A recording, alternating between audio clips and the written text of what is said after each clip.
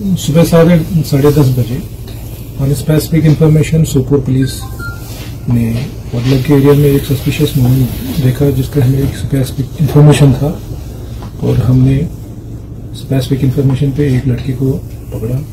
बड़े कौन जिसका नाम Ishad Ahmad Ganai son of Sonala Ganai resident of Kinuso Bandipora का है। उसको पकड़ लिया।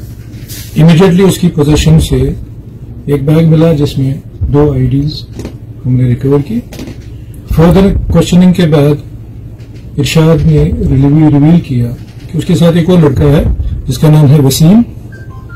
वो भी किन्नूसा का ही है। और क्वेश्चनिंग के बाद पता चला कि बोथ आर इन्वॉल्व जो बांडीपुरा में सताईस तारीख को, पिछले महीने की सताईस को आर्मी पे एक आर्मी की गाड़ी पे एक आईडी ब्लास्ट हुआ था। They are involve in that तो इमीडिएटली हमने एफ़ लॉन्च किया दोनों अरेस्टेड हैं और further questioning and further investigation के केसेस थैंक यू तो अभी क्वेश्चनिंग चल रही है और इन्वेस्टिगेशन चल रहा है कि F I R has been launch और फर्दर इन्वेस्टिगेशन इज़ ऑन